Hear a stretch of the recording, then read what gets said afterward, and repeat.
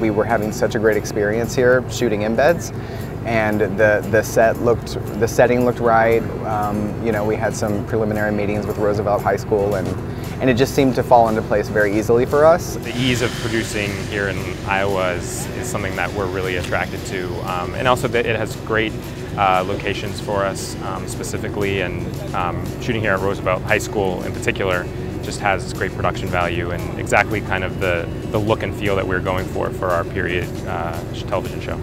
Everyone we've met throughout the whole entire process is just super awesome and nice and caring and it's just very welcoming and I was excited to come back this time.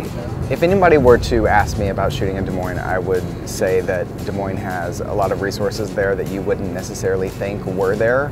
Camera equipment, the gear that we need to shoot, um, we found here locally. Our grip and lighting gear we found locally. There's crew here that um, have been very helpful to us. I feel because of um, Produce Iowa, the resources that we've needed have always been available to us. The school is like absolutely beautiful. It's like we're really lucky that we get to shoot here. I mean, it, I have to say that I actually kind of prefer shooting here because it's very, um, it's very quiet. It's not hustle and bustle like LA, and I feel like I can actually take a second and breathe instead of just having run with it. I, I, feel very fortunate that I've had the opportunities that I've had and I've made some of the connections that I've made to do this stuff because I know these things don't come very often for Iowans. You know, it's a lot of like kind of do-it-yourself small projects and stuff.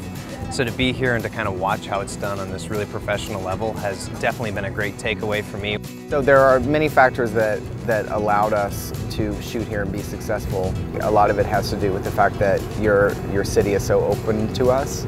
Um, whereas in Los Angeles, it, it's just so saturated that sometimes it's nice to be able to get out of that saturation and into a community that is really excited to have us here, which, which we love. We got season one under our belt and we're in season two and three now, and so that's, you know, we see a future with this show, um, and, you know, we think that it doesn't make sense to really shoot it anywhere else.